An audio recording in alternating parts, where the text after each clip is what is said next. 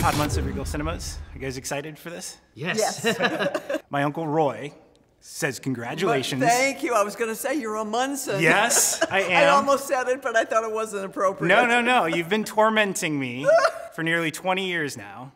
She- wow. have you ever seen her in Kingpin? Kingpin. Oh yeah. She is my lipstick faced demon. Yeah, she is. She's always there, just looking over your yeah. shoulder. Oh, it wasn't that bad. Yeah, pardon the pun. Still the got lipstick it. face. Sorry. No, but he says congratulations movie. on uh, being named the godmother of horror. Really? It's a big achievement. Really, I, that was so really a thrill, and I Boy, didn't. you really knocked something loose there, Tiger.